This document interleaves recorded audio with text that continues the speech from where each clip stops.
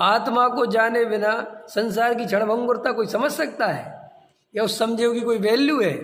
अरे, जब तक शाश्वत आत्मा नहीं मिले, तब तक क्षण भंगुरता छोड़ ही नहीं सकता कोई। और छोड़ भी दे तो वो छोड़ ही नहीं, क्योंकि समझे, आधार क्या है तुम्हारा?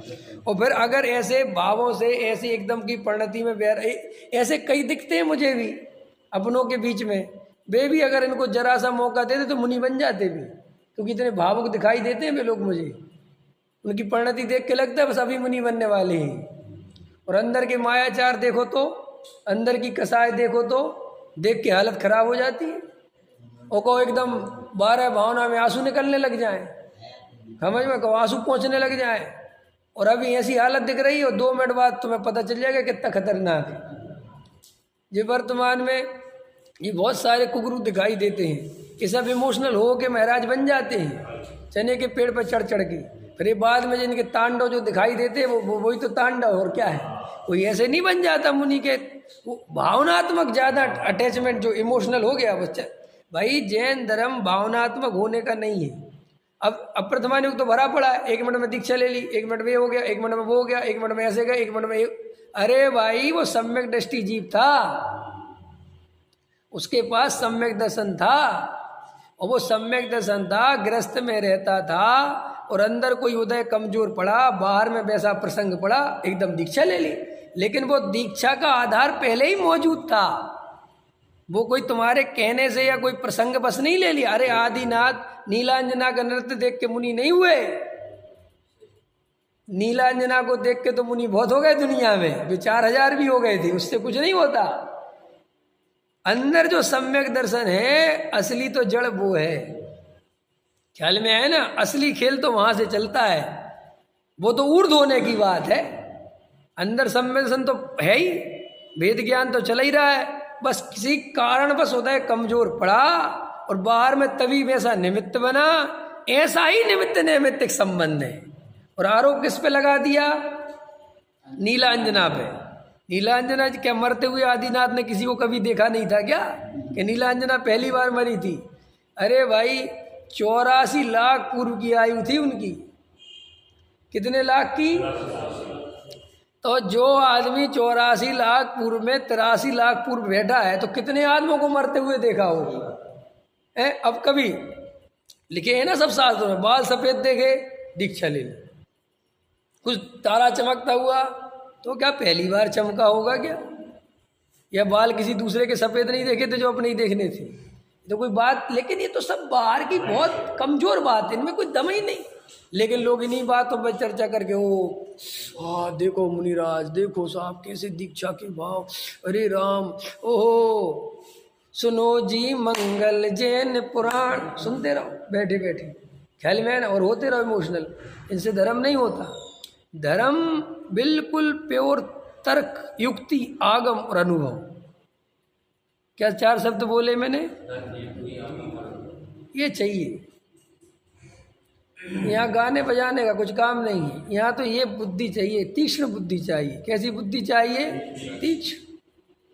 आत्मा अरूपी है। आत्मा रूपी नहीं है। आत्मा अरूपी है। आत्मा रूपी नहीं है। तो अरूपी को पकड़ने के लिए बुद्धि तीक्ष्ण चाहिए। समझ गए ना? जैसे कहते ना क्यों एक बात बताओ गाड़ी हाँकने वाला भी ड्राइवर है। गाड़ी देखिए रवेन जी, बैलगाड़ी? बैलगाड़ी हाँकने वाला भी ड्राइवर है।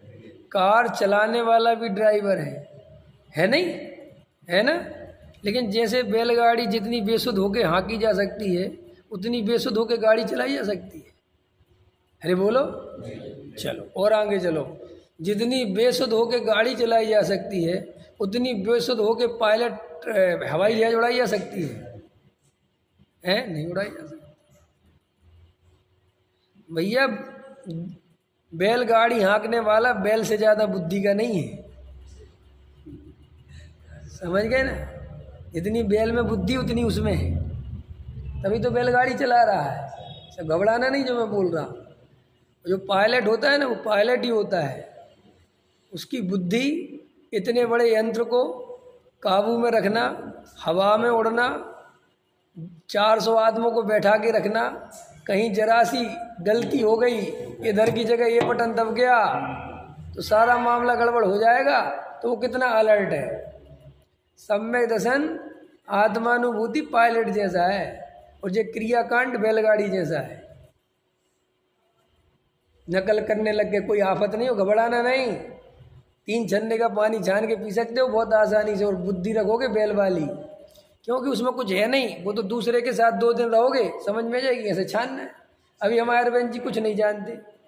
समझ लो उदाहरण के लिए, तुम कुछ नहीं जानते, ठीक है? और मैं जानते हुए भी कुछ नहीं जानता। समझ गए ना? क्या क्या होता है? अरुण जी क्या है? ये सीखने में ज़्यादा मेहनत लगती है?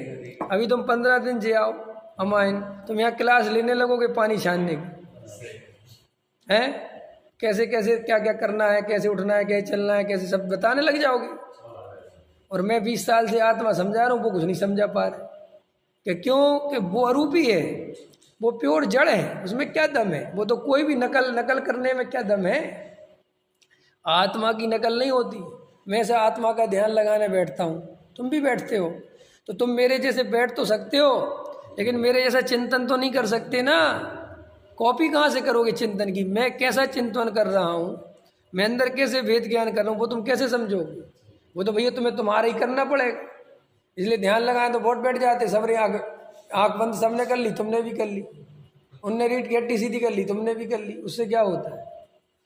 हैं? उससे कुछ और ज़्यादा वो ना, कुछ नहीं है। ज़ीरो बटा ज़ीरो मिलना है वहाँ, क्योंकि तुम्हारा खुद का कुछ है ही नहीं। इसलिए मैं कहता हूँ, मेरे भाई, ये धमाधम से बचो।